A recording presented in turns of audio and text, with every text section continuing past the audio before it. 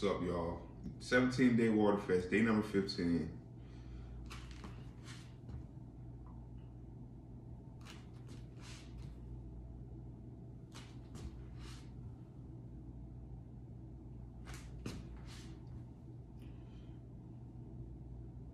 Yeah, this is really me.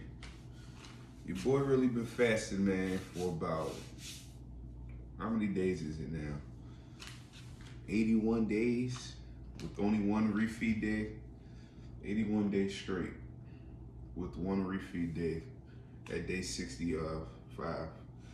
It's pretty dope, man. You know, 15 days into this water fast, I feel much better today. I feel much better today, you know. yeah, I feel much better today. Today was like the first day I went out the house. You know, I had to go get an oil change and shit. And um, this shit is funny to me. Like I just like I'm here.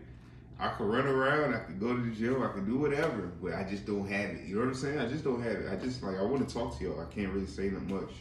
All I'll say is that I mean I look I look at myself and I'm like, wow. I remember this shirt. Go look. Go back and look at my videos from either October or November. This same shirt, and see how I, this shirt was too small back then. Let's just say that. You know. Now, I mean, yeah, we Gucci, man. We Gucci gang in here, man. You know.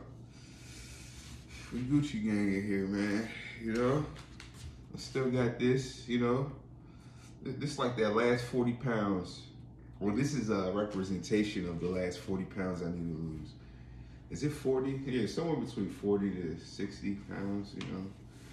We'll see how far I go into that. I kind of, I kind of, yeah. We'll see how far I go into that, though. I'm gonna keep it short and sweet, just like that, because I really don't have much to say. I'm happy though. You know, I still got like less than 72 hours to go. I feel confident that I can go through that. I've been getting a lot of sleep, a lot of rest. The blood pressure's okay. I haven't stepped on the scale today. I'll probably step on the scale on Saturday and then on Sunday. You know, Sunday's when I'll be refeeding. So yeah. I'll catch you on the next one, man. Day 15 out. It's your boy, the American African. Go ahead, like, and subscribe my videos, you know.